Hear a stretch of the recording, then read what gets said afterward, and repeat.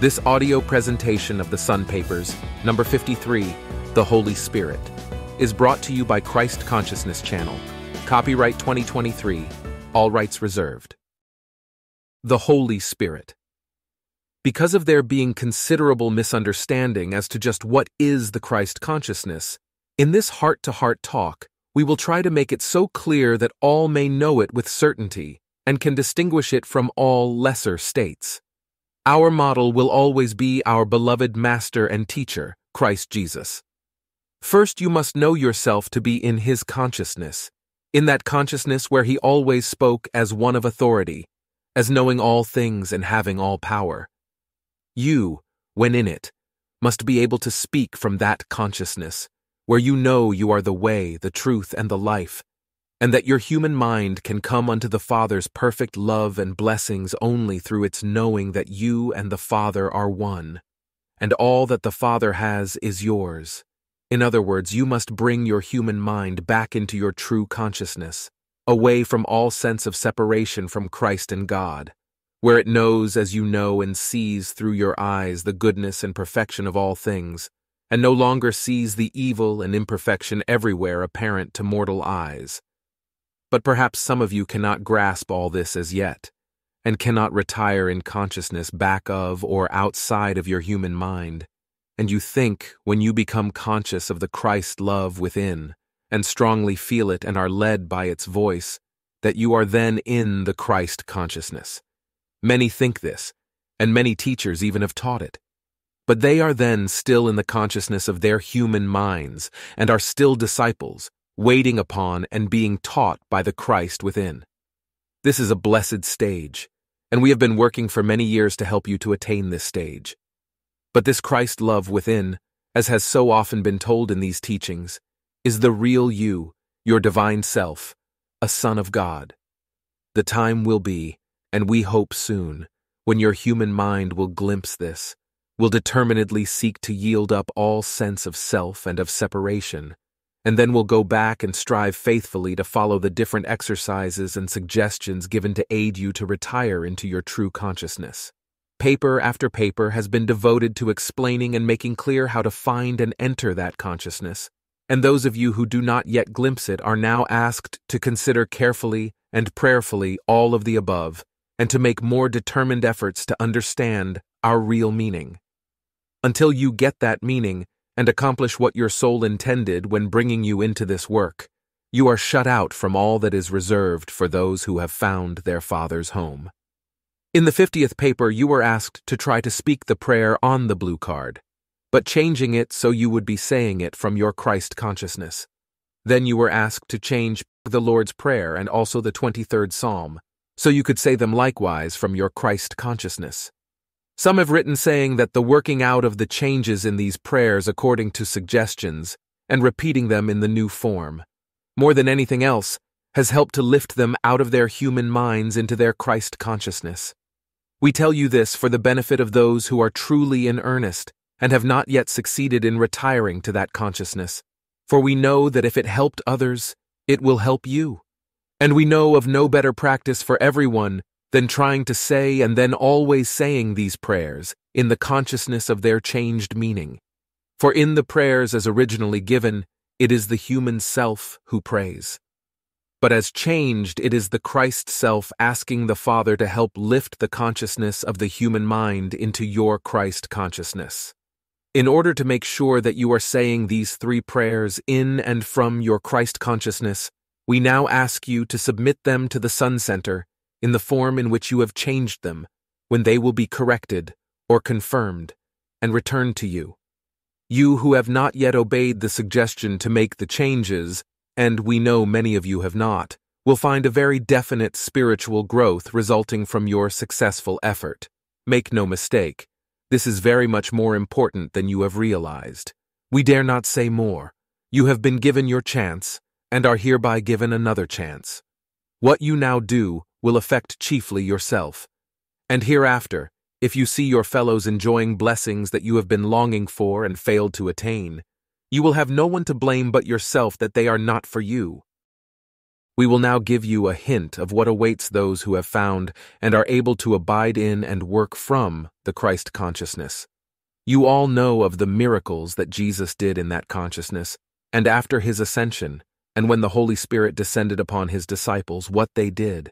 And you know what he promised his disciples that he that believeth on me, the works that I do shall he do also, and greater works than these shall he do, because I go unto my Father.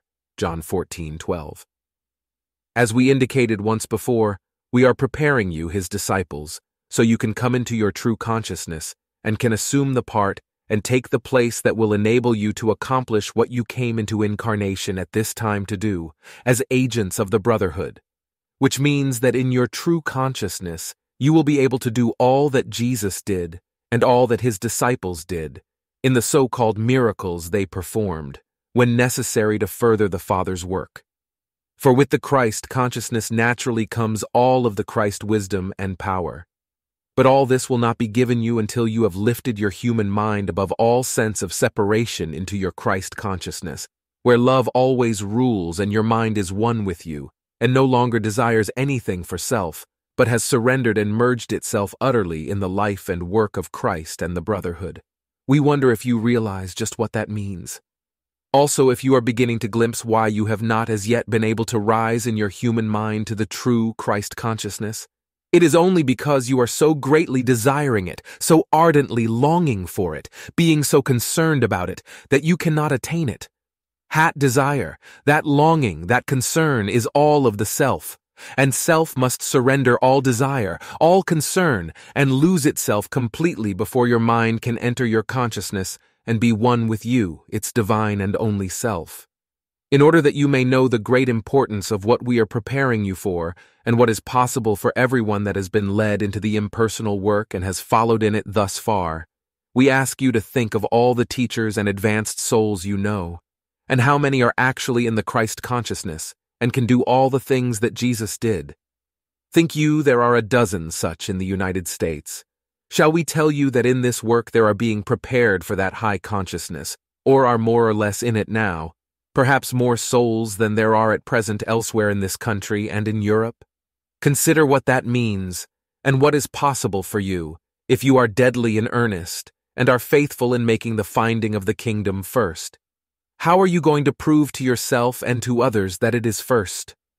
Only by day after day and hour after hour each day striving to abide in your true consciousness, in the consciousness of that great love in your heart, and trying always, every moment of the day, to think, speak, and act from its consciousness under any and every circumstance.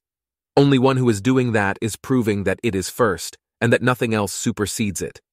We will await receipt of the three prayers changed as suggested, and ask all to send them as soon as possible.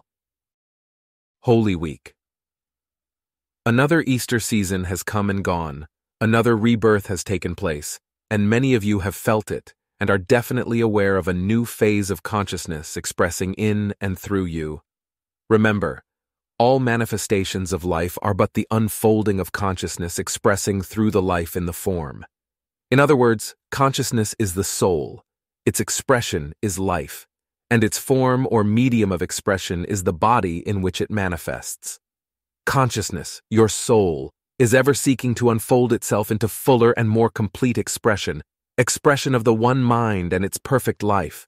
Season after season, life after life, each one a further unfoldment and a higher expression of the one life, ever seeking to outpicture its perfection on earth even as it is in the kingdom of the one mind.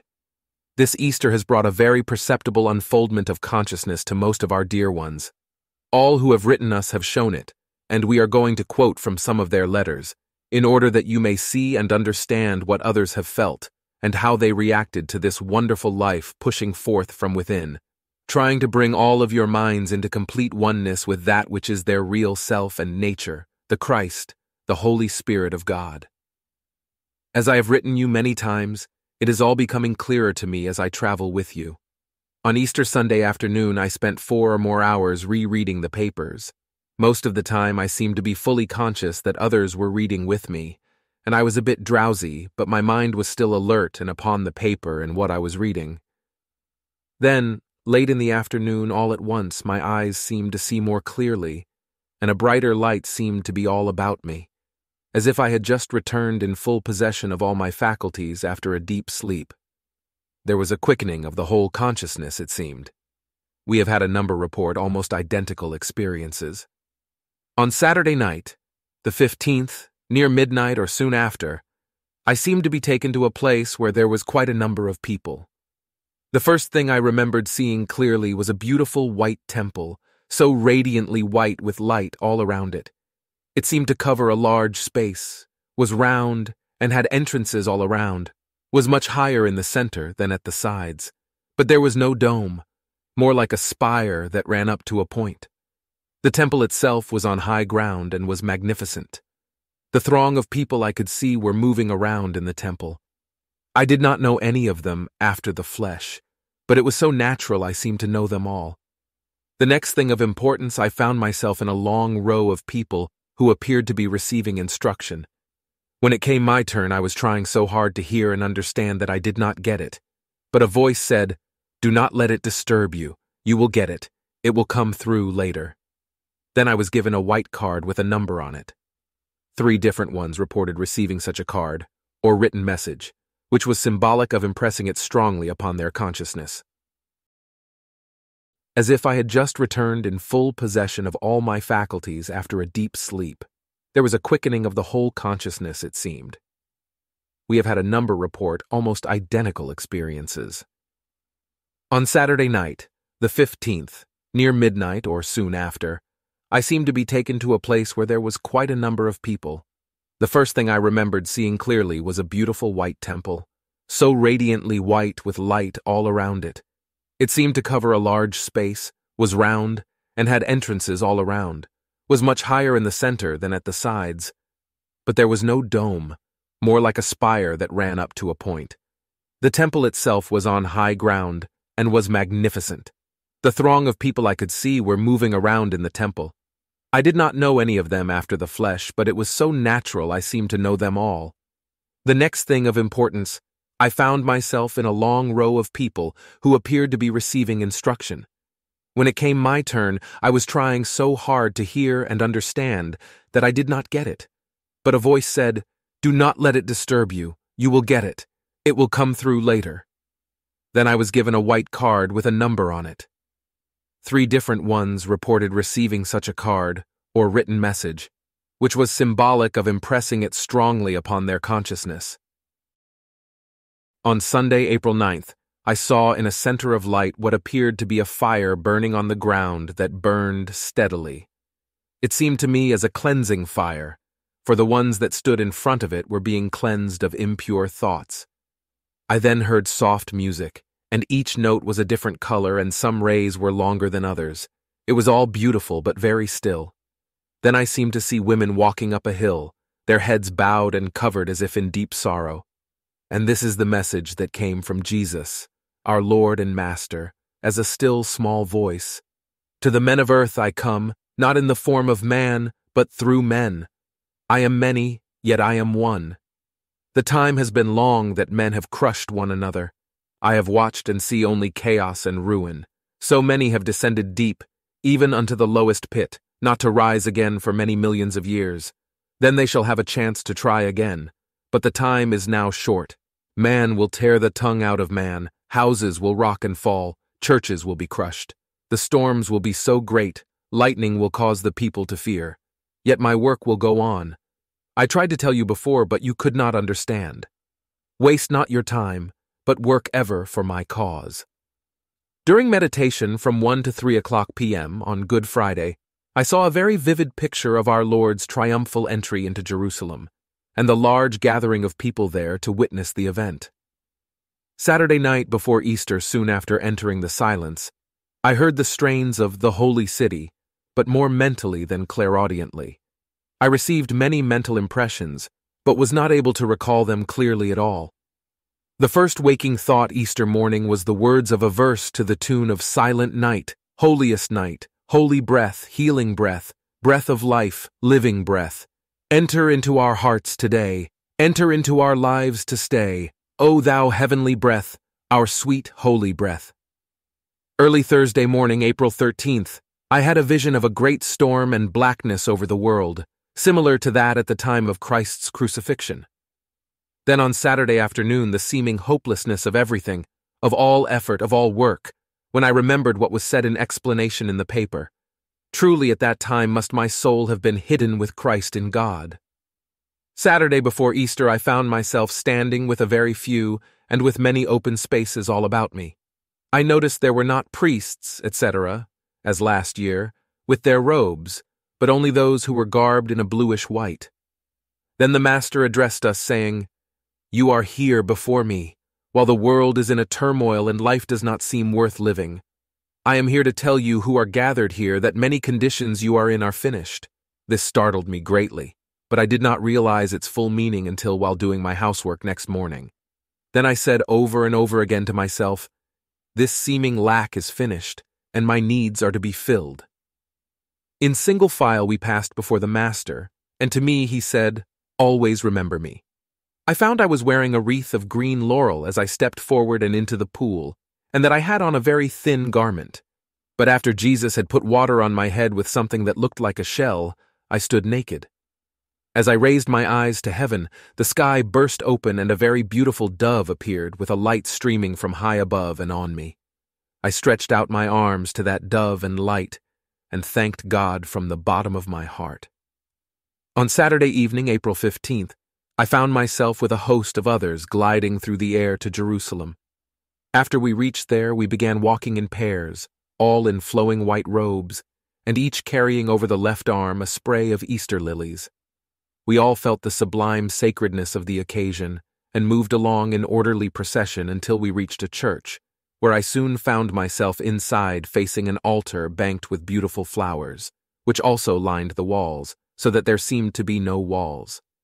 Looking toward the pulpit, I saw Christ standing with arms outstretched in blessing. He began to talk, the crowd listening as one man, their whole attention fixed on his words. I heard and understood all he said, but can recall no words. Saturday night, the 15th, I could not sleep. It seemed I was in the garden just outside the tomb. Then, quietly, peacefully, about three o'clock, I said, He is risen, risen. And then I heard myself say, Oh, why do we stay so long at the cross? Why do we linger so long by the tomb? He has arisen. Now, now is the resurrection and life for the world. The light is here. But all day Easter, there was a tinge of sadness. I would find myself sitting with folded hands praying for the world. Easter has always been such a joyous season. I could not quite understand, but I feel that much good will be done in the nation to bring all of the real ones into a close unity this summer, prepared to stand together in a most trying time. Saturday, April 15th. This started with a short and very vivid vision of the Christ, such as I often saw when starting on the path. My child, that is why I came to you so often in vision, to show you where your real work lies and to help you on the way. In former ages, you were already allied with the Brotherhood of Christ, vowed to work for me. You often slipped back, but now that you have found me within, you will stand firm, and nothing can make you forget again who you are and of what you are a part. Give yourself entirely to us, dear child. Your work is waiting and will be given you gradually. All my faithful ones must gather about me in the dark times to come, to form a center of light and love that will eventually light the earth. Therefore, group yourselves together and be ever prepared for my call. There is work for each, but all must work as one, giving of their best. For through you, my children, must come the help by which the inhabitants of earth shall be saved. Blessed are ye who have found your Lord within and are doing his holy bidding. May peace and our Father's blessing be with you. Amen. These were some of the experiences reported. Another disciple was in the Garden of Gethsemane praying and watching with him all through the night. Another followed with him on the road to Golgotha and saw him hanging on the cross, while others felt they were with him all during Holy Week and were being taught by him. It all shows that those who truly sought to be worthy and whose minds and hearts were fixed on him this Easter season were given actual evidence of his loving presence in one way or another. But remember, he in reality is the Christ. Love in your hearts, God's Holy Spirit, which is so strongly making itself felt this springtime, and which but outpictures itself to your human minds in these mystical incidents in the life of Him who came to point us the way, the truth, and the life that He Himself was, is, and always will be. Impersonal groups. Has all that has been said in the last few papers inspired you to greater efforts toward service? Have you felt the call to carry the message to those of your friends wandering in the darkness of self, to draw them into a group to study and discuss the higher truths in the magazine or in the papers? Are you obeying the urge from within to be about your Father's business, even as you would be were the Master here in the flesh asking it of you? Search your heart and mind and see if you are doing all that He wants you to do.